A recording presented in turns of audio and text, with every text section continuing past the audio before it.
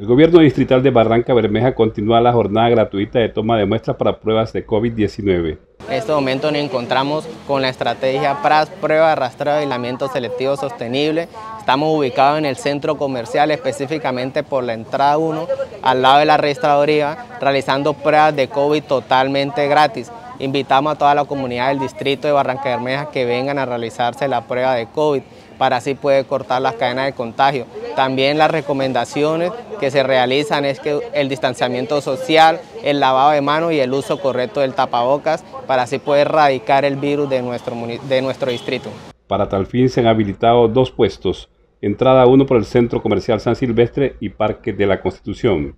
Es que uno tiene que estar seguro si tiene COVID o no para evitar pues un desenlace final como se está presentando con mucha gente que no cree o no se quiere hacer el examen y terminan entubados en una sala de UCI.